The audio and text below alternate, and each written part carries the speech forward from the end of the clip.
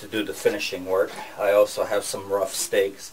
I've got about uh, 10 different types of hammers at different um, curves, uh, striking surfaces.